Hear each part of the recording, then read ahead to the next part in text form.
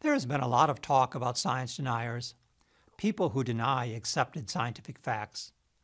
When we use this label, we are implicitly buying into the deficit model of scientific communication. The deficit model says that if people just knew the facts, they would act in accordance with the scientific evidence.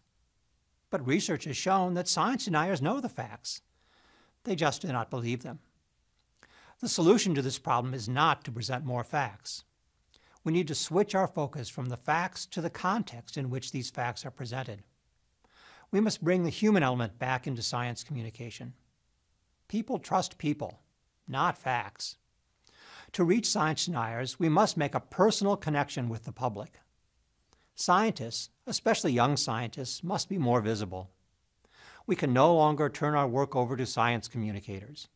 We must learn to speak in personal ways about our research. We have to share our journey as scientists. We need to change the culture of scientific training so that young scientists will want to talk to the public in ways that make a difference.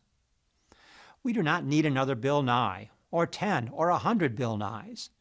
We need every scientist trained and willing to speak personally about their research.